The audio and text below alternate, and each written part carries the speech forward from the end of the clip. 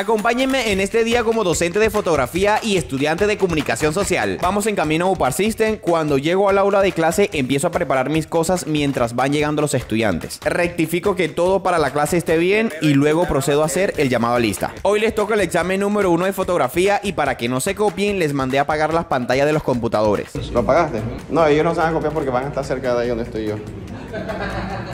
Les pongo una ruleta con una serie de cosas y cayó sacar el cuaderno 30 segundos antes de iniciar el examen.